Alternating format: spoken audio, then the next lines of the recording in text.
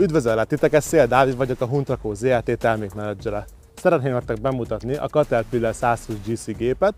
Ez a gép abban különbözik a sima 120-as Gradertől, hogy a Caterpillar a vevő igényeket meghallgatva újra elérhetővé tette a karos vezérlést. Gyertek, nézzük meg együtt!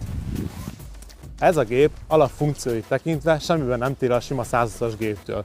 Ugyanúgy fel van szerelve talajlazító munkaszerelékkel, összkerékhajtással és első tolólappal. Gyertek és nézzük meg közelebb a fülkét.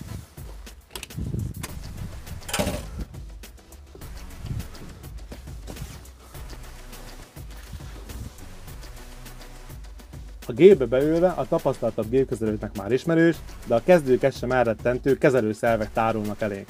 A lábunknál lévő pedál segítségével tudjuk ezt a kezelőszervet a megfelelő pozícióba beállítani.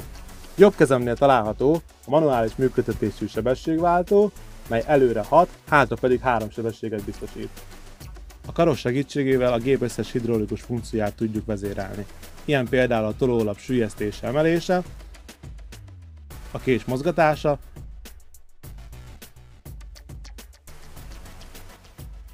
és a törzscsukló irányítása.